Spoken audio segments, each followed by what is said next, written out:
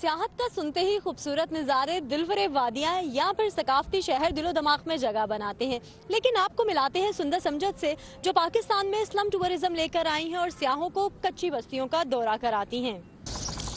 As a spoken English teacher to working as a counsellor Islamabad میں I lived in the Islam for one and a half year تو یہاں سے یہ مجھے I got this idea to mix tourism with Islam's development sector تاکہ ہم ایک ایک ہی فلو میں نہ ان دونوں کچھ چیزوں کو کور کر لیں اور ٹوریزم کے تھرو ہم ان کو پاورٹی سے نکال سکیں عام طور پر سلم کی اصطلاح کچی آبادیوں کے لیے استعمال ہوتی ہے، مگر سندس ایسے گھرانوں کو سلم میں شمار کرتی ہیں جہاں یومیہ آمدنی ایک ڈالر سے کم ہو۔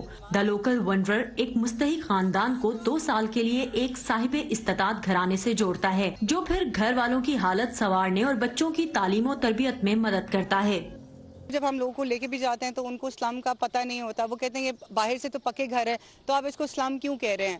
ایک ایک ایک کمرے کے گھر میں سات سات آٹھ آٹھ لوگ رہتے ہیں۔ ہم جو ہے نا، ان کا سرویز ہم نے کیے میں ڈفرنٹ این جی اوز کے تھرو ہمارے پاس وہ ڈیٹا اویلیبل ہے۔ ہم پاورٹی اسکور نکال کے ہاؤس ہولڈ کا، ان کے انکمز ایسٹس دیکھ کے اس کے بعد ہم ڈیفائن کرتے ہیں کہ ویدر دے ڈیزرو ہیلپ اور ناٹ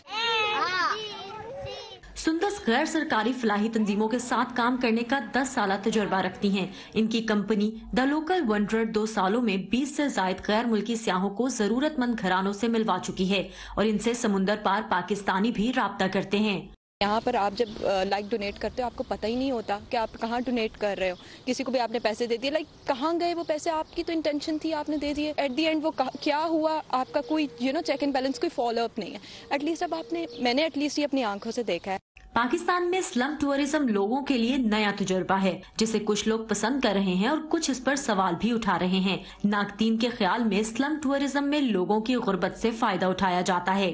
ہم چاہتے ہیں کہ جو لوگ پاکستان سے اتنا کچھ لے کے جا رہے ہیں، آپ نے ریسنٹلی دیکھا ہوگا بہت سارے بلاگرز بلاگرز پاکستان آئے ہیں، انہوں نے بہت اچھا اچھا لکھا ہے اور انہوں نے بتایا ہے کہ this country has too much to offer تو اگر آپ ایک ملک آپ کو اتنا کچھ دے رہا ہے تو it's your responsibility to give something back to the country as well سندر سمجھت کہتی ہیں کہ دا لوکل ونڈر کے ذریعے وہ مختلف بستیوں میں لوگوں کو اس قابل بنانا چاہتی ہیں کہ وہ اپنے علاقے کا ٹور دے سکیں اور بستی کے لیے نئے ذرائع آمدن پیدا کر سکیں۔ Saman Khan, Voice of America, Lahore.